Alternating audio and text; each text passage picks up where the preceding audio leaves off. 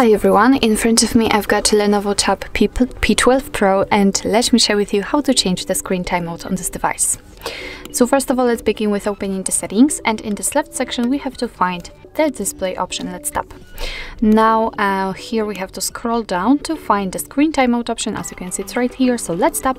And as you can see, um, here we've got plenty of options to choose from. So we can set either 15 or 30 seconds, or 1, 2, 5, 10, or 30 minutes, um, which is currently As you can see, this option is marked. Uh, what's more, we can set never, which means that your device will never black out.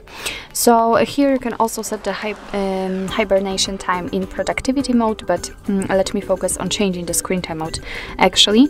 So um, basically all you have to do is to simply tap on the option you'd like to use. So I'll pick for example 5 minutes and as you can see it is notified right here which means that from now on after 5 minutes of inactivity this device will black out.